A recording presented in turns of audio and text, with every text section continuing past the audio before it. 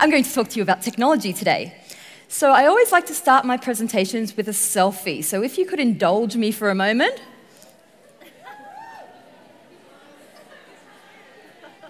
Thank you. You'll be able to see me on social media later. You can see yourself there. So thank you very much for inviting me along today. I'm very excited to be here and to talk to all of you amazing girls. And shout out to all the girls who've presented here today who've done an amazing job. So being very brave coming on stage. I agree. Go sisters, awesome stuff. So, uh, my, my, I have a nickname. My nickname is Jewella, and I'm a superhero. So, just so that you know. Now, what do I do and why am I here? So, um, I, I do a couple of things. So, I'm an entrepreneur. I run two companies, and I also teach information technology at university, and I'm a researcher. So, I do lots of different things.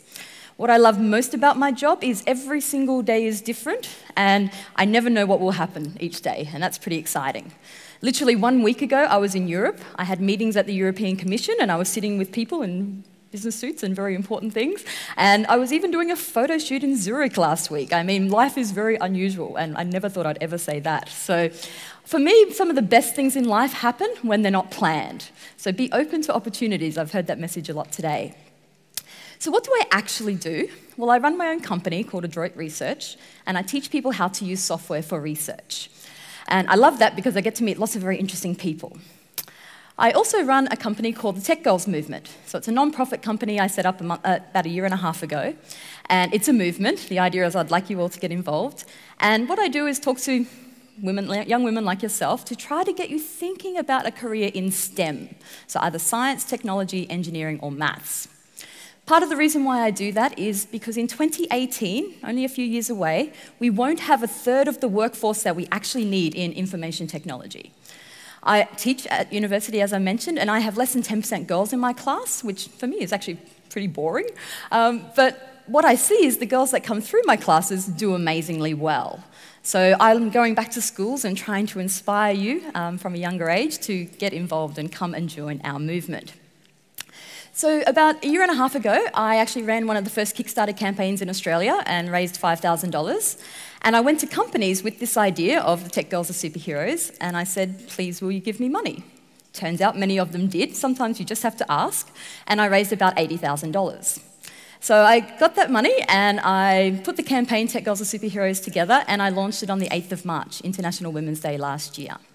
So with that, 20, with that $80,000, I printed 20,000 copies of this book, which there are copies available for you today for free, and if you don't get one, you can jump online and order. But I raised the money so that I can give them out for free, for free to all of you girls. And what uh, the campaign really is about is to show positive, positive female role models who work in STEM. So, all of the women who are featured in the book, they're all women that I know, and actually, three of them I did visit on my travels in Europe. Many of them are based here in Australia. But these are all women that I know who change the world with technology. They do amazing things every day, but they're just like you and me. So the concept of a superhero isn't that we're good at everything. I'm certainly not good at everything. But what I am good at is there's one very special thing that I find that I'm really good at. So I'd like you to have a think about, and I'll come back to this, think about what is your superpower? What is that one thing you're really, really good at that you can then um, bring into your life and make people's lives better? And for me, technology is very much about making people's lives better. It certainly shouldn't be making our lives more difficult. And part of the reason why we need more girls is because all of us use technology. So we should be involved in developing that technology we use every single day. And another part of the reason is diversity, as we've talked a little bit about today. Diversity is a really, really good thing. Um, we make better decisions, companies perform better. There's a whole bunch of reasons why we need to have diversity, not just women, but all sorts of different groups represented. So I want to share a couple of my role models with you. So this here is a woman called Ada Lovelace. So Ada Lovelace lived in the 1800s, late 1800s, and she's actually the first programmer in the world. So I don't know if you know, the first programmer was a woman. So Ada was so smart, she was working with Charles Babbage on the analytical engine and essentially the first computer or first calculator. Ada, what she did was she actually looked over Charles' notes, made comments and corrections, and actually improved his work. And she was a, a very smart, um, forward thinker. We also have Grace Hopper. So Grace Hopper worked in the US Navy in the 1950s. And what she did was literally change the world of technology. So she invented what's called a compiler. So a compiler is a software program that allows people to talk to computers, essentially. So before Grace came along, the way we talked with computers was we would have these little paper cards that had holes in them, punch cards, and we'd essentially put them into the computer and talk to the machine that way. When Grace came along and invented the compiler, she created this computer program and essentially created computer programming in the modern era as it is today. So she revolutionized the way we use technology. I think that's kind of cool. A little bit before Grace, um, you, you, may not have heard of um, Hedy. So Hedy Lamarr was a screen goddess in the 1920s. So she was in Hollywood um, movies. She actually created what's called spread spectrum, which is the basis for, basis for Wi-Fi. So the technology we're all probably using here today, I've been sitting there tweeting, um, is basically as a result of something that happened by an amazing woman nearly uh, pretty much 100 years ago. So these are three women that I look up to, and we don't often hear about them, but I think they're absolutely pioneers of our industry, and we should recognize and celebrate that and be inspired by that. So I've created some characters, so what I call archetypes. So I'm actually really sick of seeing these boring, old, outdated stereotypes of um, the people who work in tech. Usually they're boys.